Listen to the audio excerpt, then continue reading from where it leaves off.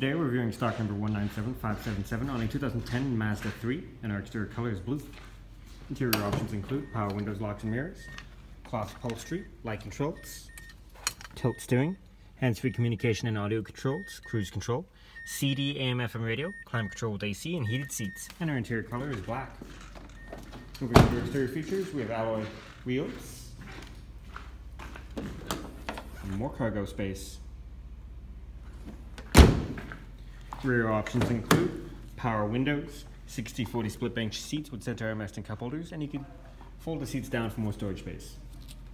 Once again, we're viewing stock number 197577 on a 2010 Mazda 3, and our exterior color is blue.